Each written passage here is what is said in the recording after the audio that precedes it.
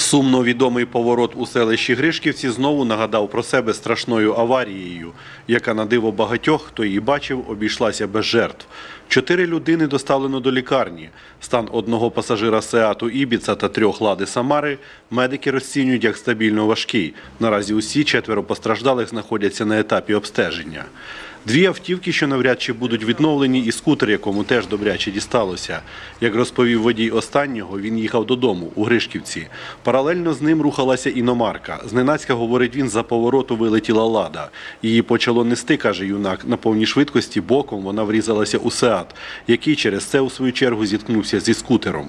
На місці пригоди працюють працівники ДАІ, які і визначать справжнього винуватця аварії.